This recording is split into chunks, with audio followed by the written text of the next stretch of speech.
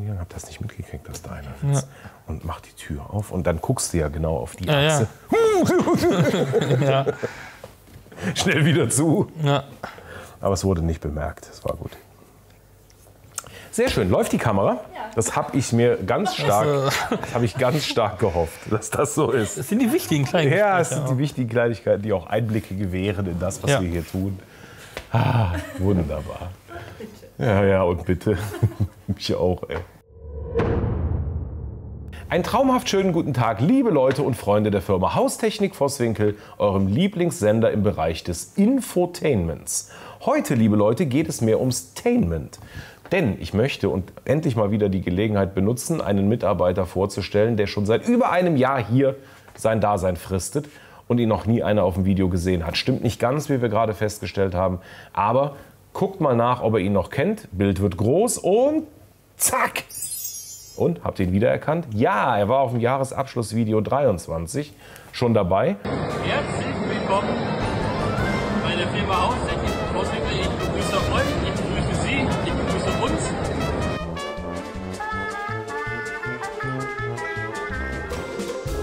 Action. Aber ist, das ist nicht seine einzige Aufgabe. Deswegen haben wir gedacht, lass mal mal eben drüber reden. Mein lieber Jan, schönen guten Tag. Moin. Moin, genau. Äh, Jan, was muss man über dich wissen? Wer bist du? Wo kommst du her? Was machst du eigentlich hier? Äh, wer bin ich? Wo komme ich her? Ähm, was muss man über mich wissen? Ich bin eigentlich quasi der, der im Hintergrund dafür verantwortlich ist, dass wir alles an Ware pünktlich zum gewünschten Zeitpunkt am gewünschten Ort haben. Ich kümmere mich um die Disposition des Materials, um ja, generell den Einkauf, die Logistik, dass wir halt wirklich immer punktaktuell arbeiten können, da wo es hin soll. Exakt.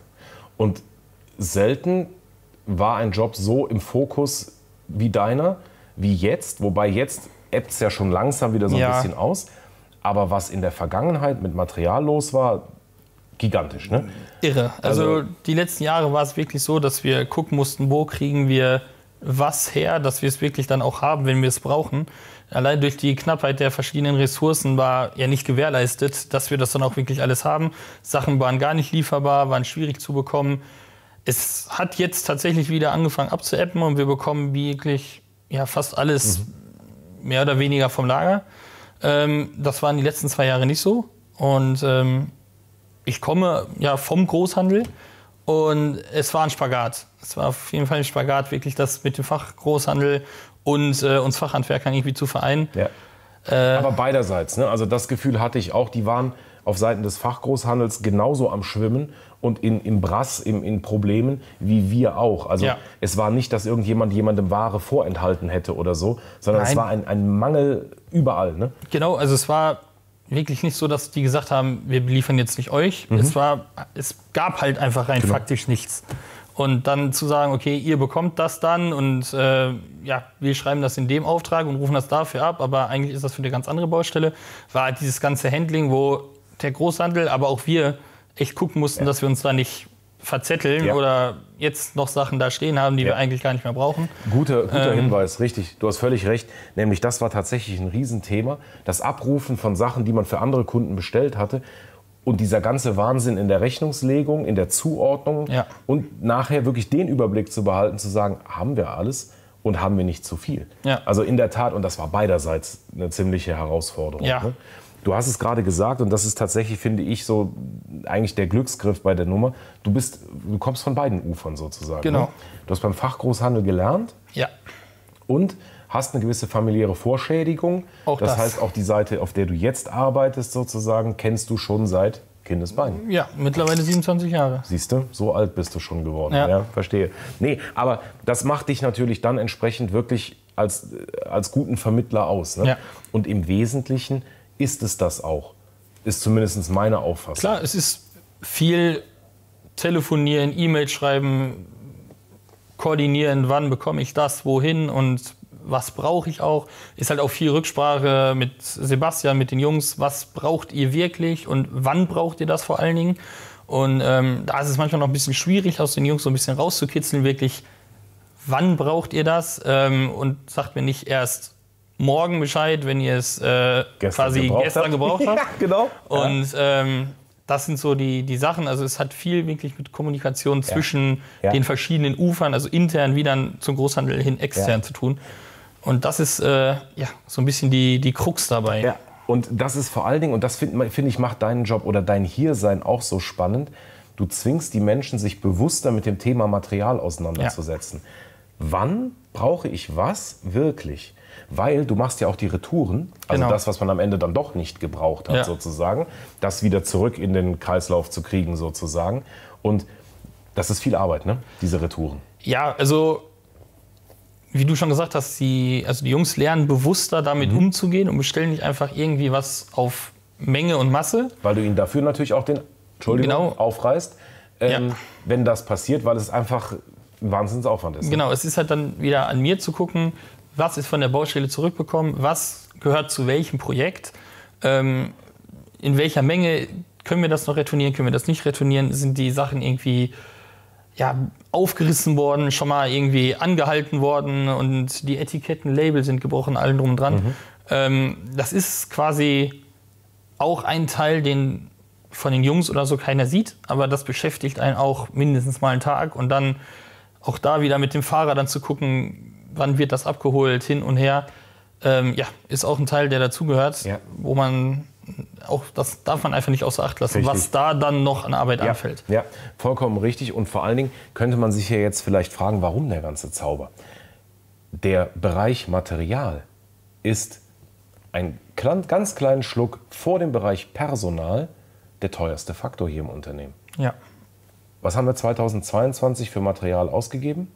bisschen mehr als eine Million. Ist eine Million, genau. Ja. richtig. Also irgendwie so eine Million 20.000 oder sowas. Ja. Ähm, Euro, liebe Leute, haben wir für den Bezug von Material ausgegeben.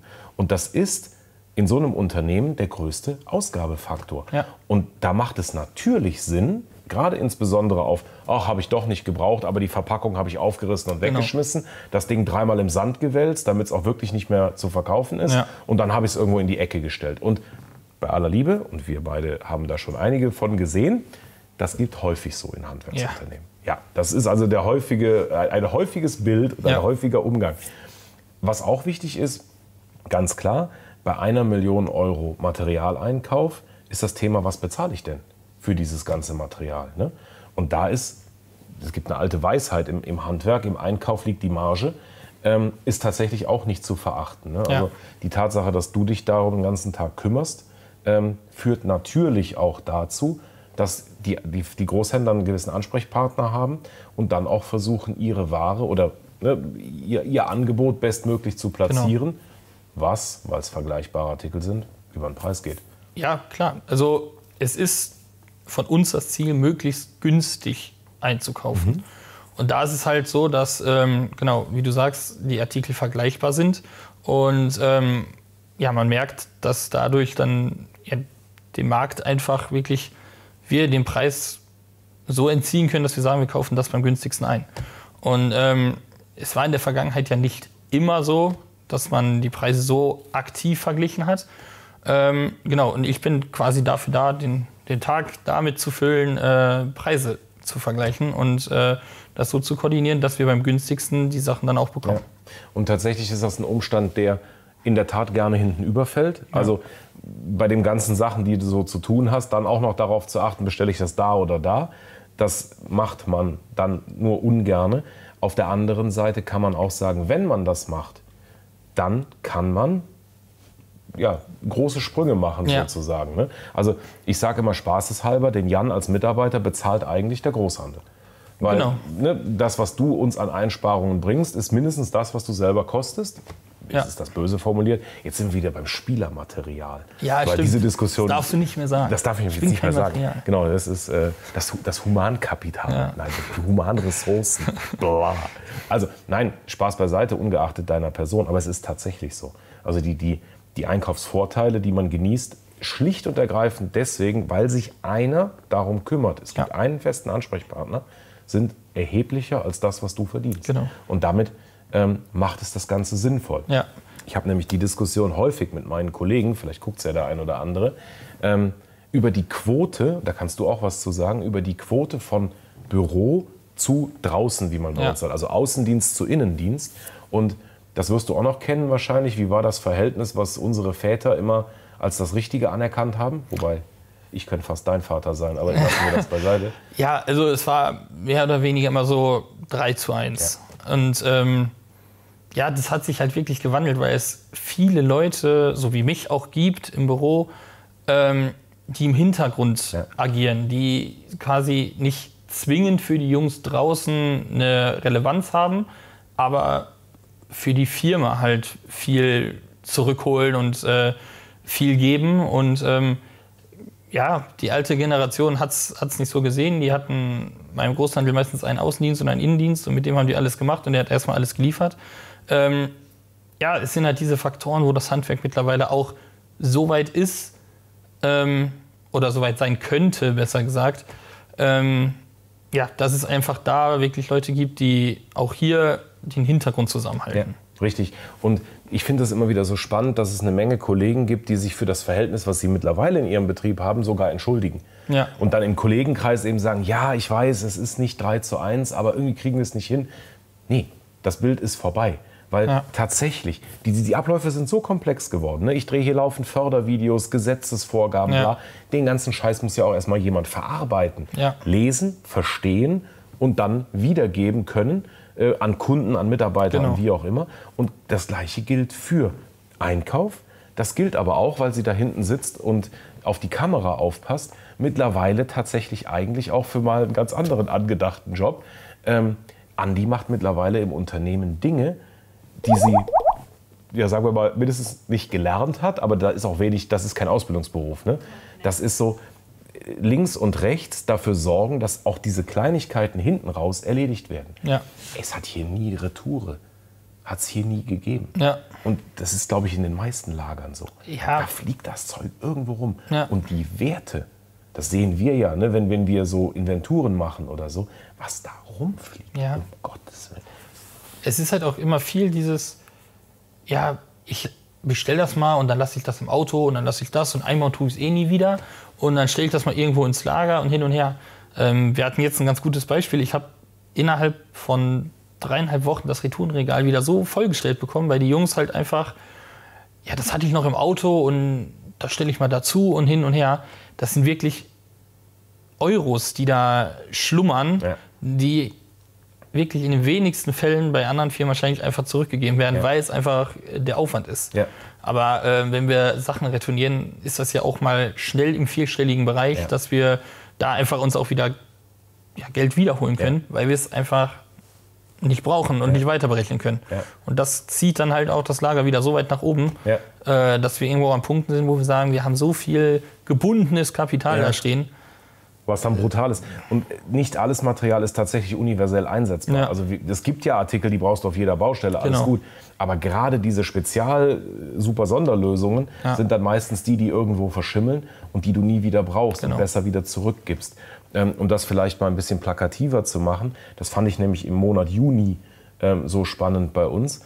Ähm, ihr könnt euch vorstellen, für jeden Euro Umsatz, den wir generieren, ver verwenden wir oder verwandten, das mittlerweile stimmt das ja auch nicht mehr, haben wir ca. 48 Cent, also oder 1 Euro, sprich Prozent, 48 Prozent für den Materialeinkauf verwendet. Also von einem Euro eingenommen, haben wir 48 Cent ausgegeben, um Material zu kaufen und vom Rest haben wir versucht, alles andere zu bezahlen. Unter anderem mein exorbitant hohes Gehalt. Mittlerweile, und das war eben auch die Zielsetzung, die wir hatten, war es, das zu senken. Ja. Und jetzt hatten wir im Juni, und das fand ich eben so geil, da haben wir noch gefeiert, ähm, hatten wir jetzt tatsächlich einen Monat, der gegen Ende des Monats, er ist noch nicht ganz ausgewertet jetzt, ähm, wo wir bei 25 Prozent gelandet sind. Ja. Das waren Sondereffekte. Bin Genau. ich bei, wir zwei haben auch analysiert, woher das Ja. kommt. Aber du merkst halt, was das für eine Auswirkung Ja. hat, wenn man das Retourenmaterial zurückgibt. Genau, und es schlummert halt so eine Spanne da drin. Ja, also, brutal. Wie du dann sagst, diese 48, fast 50 Prozent, also quasi die Hälfte vom ist nur Material und wir haben den Rest noch nicht irgendwie davon abgezahlt.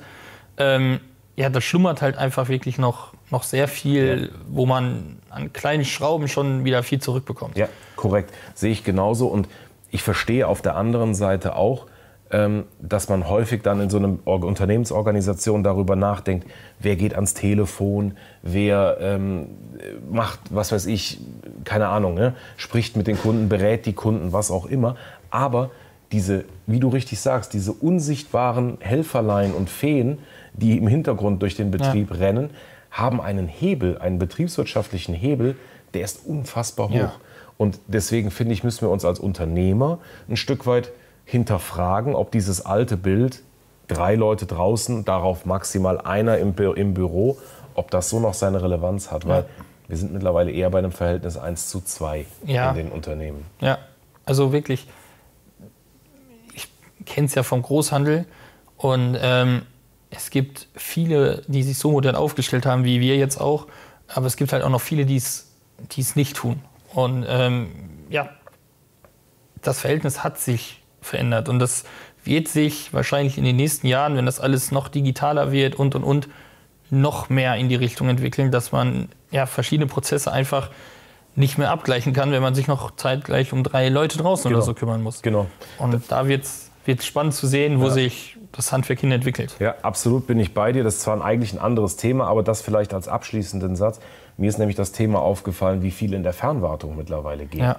Also, dass du tatsächlich fachlich, technisch versierte Menschen an einem Punkt sitzen hast und die fahren quasi digital zu den Heizungen und können ja. gewisse Probleme schon lösen. Und dadurch wird sich dieses Verhältnis Innendienst zu Außendienst noch mehr verwässern. Ja. Ne, also dann ist einfach auch jemand im Innendienst in der Lage, produktiv zu arbeiten und Rechnungen dafür zu schreiben. Ja. Und das ist in der Tat eine Herausforderung, die auf das Handwerk jetzt gerade zurollt, wie ich finde, und wo wir in den nächsten Jahren noch viel Spaß mit haben werden. Ja. Aber auch wirklich Spaß, nicht nur Arbeit, denke ich.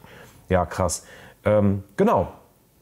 Im Wesentlichen habe ich den Eindruck, haben wir haben dich gut vorgestellt, oder? Ich, sagen, ich glaube, wir haben meinen Job ganz gut beschrieben. Ich, ich finde auch, genau. Richtig. Äh, magst du deine Privatadresse noch rausgeben? Nee, brauchst du nicht. Ne? Äh, nee, heute noch nicht. Heute noch nicht, alles Video. klar. Weil ich setzte gerade an, woher kommst du und ich hatte ein bisschen Sorge, dass du das sagst. Ich musste auch überlegen. Ja. Nein, also von privaten Zuschriften bitten wir abzusehen. Also, in diesem Sinne, Jan, ich freue mich seit, jetzt muss mir gerade noch mal helfen, 1.6., 1. Ja, 13 Monate. Also 1.6.23, ja. du hast 13 Monate voll. Ja. Ja, krass. Ähm, und ja, so angefangen, reingegangen, ja, das wäre so die grobe Zielrichtung und im Vergleich zu dem, was du heute tust oder ja, wie sich das entwickelt hat, finde ich es beachtlich. Eine Sache wollte ich noch ähm, rausnehmen, nämlich du hast eben gesagt, dass die Jungs dich nicht mitkriegen, weil du im Hintergrund agierst. Das stimmt nicht denn ich habe dich schon häufig mit einem Blaumann hier durchlaufen ja, sehen, auf dem Weg zu irgendeiner ja. Baustelle. Ah, ich muss ja. aber gerade mit anpacken. Ja. War er weg. Ja. also das es schon. Ich glaube, also Sie kennen schon meinen Namen. Ich wollte gerade sagen, also dein Name ist, glaube ich, im Unternehmen bekannt, egal wo. Alles klar. Also Jan, auf mindestens bitte weitere 13 Monate. Schön, dass wir dich vorstellen durften. Für euch war es hoffentlich auch mal spannend, wieder einen Einblick hinter die Kulissen zu bekommen. Haben wir sehr gerne getan. Falls es irgendwelche Anregungen gibt, falls irgendwas ähm, zu fragen, zu klären ist zum Thema Einkauf, bitte gerne in die Kommentare dieses Videos. Wir zwei gehen jetzt wieder ein bisschen arbeiten. Ja. Und nächste Woche Mittwoch sind wir sehr gerne wieder für euch da und dann haben wir uns was Neues für euch ausgedacht. In diesem Sinne, Jan, liebe Leute, Madetiot, tschö.